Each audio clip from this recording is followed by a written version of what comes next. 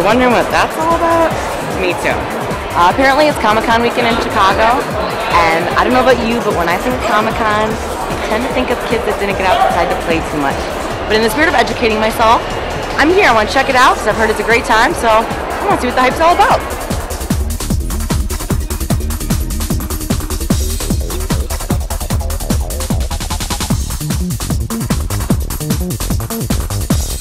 Here with my favorite Brady and my favorite badass model.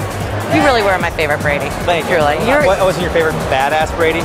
you were you were the only badass Brady. No, I wasn't. There's no So- such thing. There is no such thing.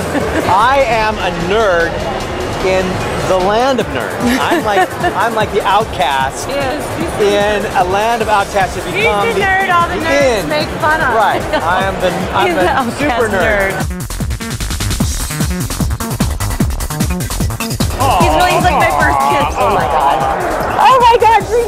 come. Bucket list check. Check. I did. I used to always. Oh, anyway. Ah, Welcome to Comic Con. thank you. God. If you're not at Comic Con yet, what's the matter? Come on out. It's fun. It's a lot of fun. Your son made this costume? Yeah.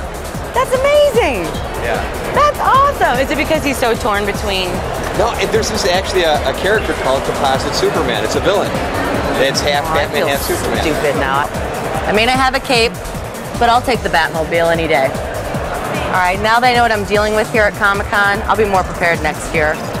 I will be back. This is an absolute blast.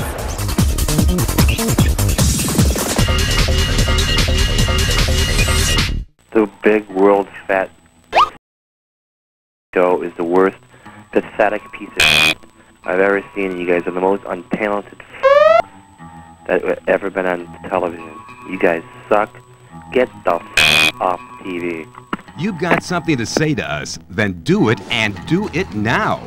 We may read your response on a future broadcast. Just email us at feedback at nudehippo.com or just visit us on the web at www.nudehippo.com. There's more to come, so stick around.